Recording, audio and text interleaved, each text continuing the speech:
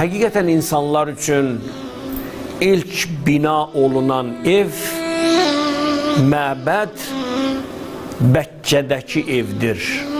Bəkkədəki ev. Quran-ı Kərim Məkkəni Bəkkə adlandırır. Bi Bəkkətə mübarəkən buyurur. Bəkkədəki evdir ki, o şübhəsiz bütün aləmlərdən ötürü bərəkət və doğru yol qaynağıdır. İlk Allah Kəbəni yaratdı.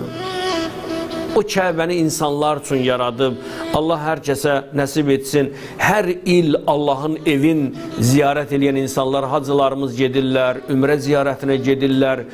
İl boyu bu Allahın evi boş qalmır. Allah o evi bizim üçün yaradıb ki, öz varlığının bir nişanəsidir. Hər divar olan ev ev deyil.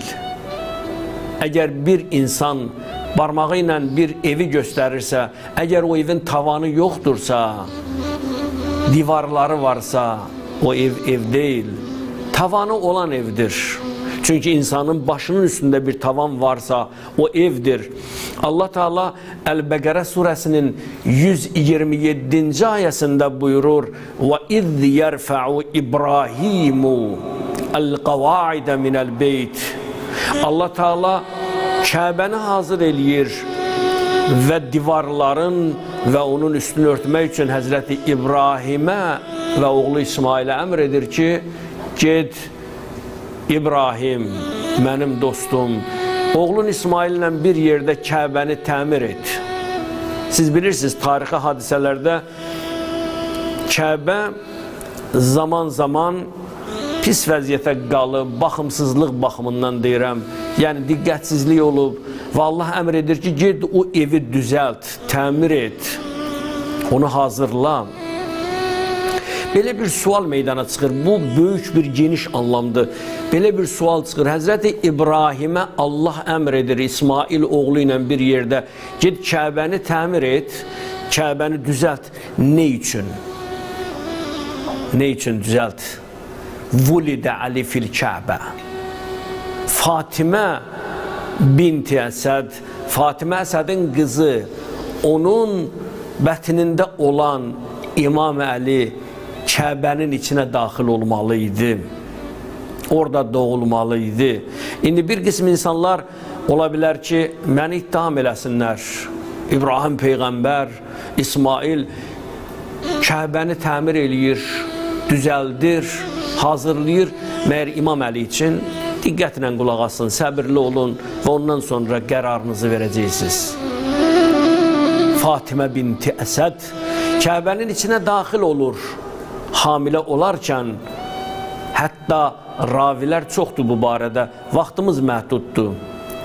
Sonra divar yenidən öz əvvəlki halına qayıdır. Divar aralanır. Fatimə binti Əsəd hamilə vəziyyətdə daxil olur və divar yenidən öz əvvəlki halına qayıdır. Hədisdə var, qeyd olunur ki, fəəlimnə ənə zəlikə əmrun min əmrillah azza və cəll. Nə qədər insanlar orada var idi, onlar deyirlər ki, bu işin Allah Taala tərəfindən olan bir məsələ olduğunu onlar anladılar. Başa düşdülər ki, bu bizlik deyil. Divar necə yarıla bilər? Necə divar yarıla bilər? Ora bir ana daxil olsun ana ilə uşaq bir neçə gün Allah evində daxil olub orada qaldılar. Belə bir sual da veriblər mənə. Bu sualı mən istəyirəm sizinlə bölüşəm, dəyərli izləyicilər. Həm də olsun, bizi izləyənlər çoxdur, canlıdılar və eyni zamanda həm YouTube kanalımız Had Surxay Məmmədlidə, TikTokda yüzlərlə insanlar bizi izləyir və bunu xahiş eləyirəm diqqətlə, diqqət mərkəzində saxlayın. Mən hədislərə əsaslanmıram. Mən nağıllara və utopik fikirlərə əsaslanmıram. Mən Quranla cavab verəcəm insanlara. Bəziləri ittiham eləyirlər ki, necə ola bilər Kəbədə 3 gün Həzrəti Əli və anası Fatimə binti Əsəd qalsın? Bu olmayan bir məsələdir. Bəziləri bu cür iddiadadılar, amma mən onlara Quran-ı Kərimlə cavab vermək istəyirəm. Ali İmran surəsinin 37-ci ayəsi. كلما دخل عليها زكريا المحراب وجد عندها رزقا قال يا مريم أن لك هذا قالت هو من عند الله إن الله يرزق من يشاء بغير حساب Gedin açın okuyun. Ya verilişten sonra açın okuyun. Ali İmran 37. Siz bilirsiniz ki Hazreti Meryem Zekeriyanın evində qalır. Uşaq gecələr ibadət eləyir Məryəm kiçik yaşlarında. Günlərin bir günündə bunu Quran buyurur. Həzrəti Zəkəriya içəri daxil olur. İçəri daxil olanda görür ki, Məryəmin yanında meyvələr, Allahın verdiyi nemətlər, müəyyən meyvələr Həzrəti Məryəmin yanındadır. Həzrəti Zəkəriya özü özünə deyir ki, necə ola bilər ki, necə ola bilər ki, evin axsaqqalı mən, böyüyü mən, mənim iznim olmadan kim Məryəmə qida gətirsin? Kim Məryəmə yemək verə bilər? Evin sahibi mənəm, kim bu evə girir?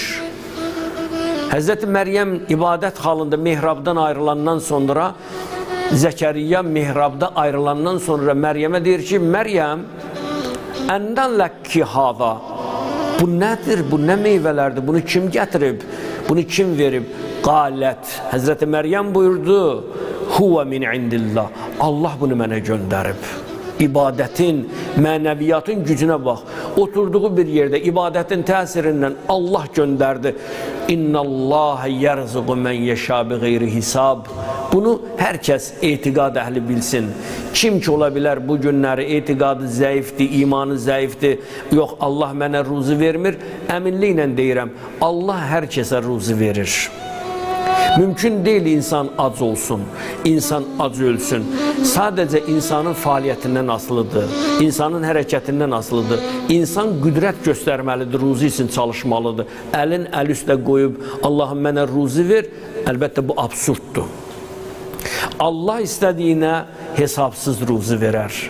Əgər Allah Taala mihrabda Zəkəriya peyğəmbərin evində Həzrəti Məryəmə meyvələr, ruzilər nəsib edirsə yox yerdən mələklərin vasitəsilə nə üçün də o 3 gün ərzində Allah Taala Həzrəti Fatimə binti Əsəd bətnində olan İmam Əliyə Kəbədə ruzi verməsin. Allah ruzi verənlərin ən gözəlidir.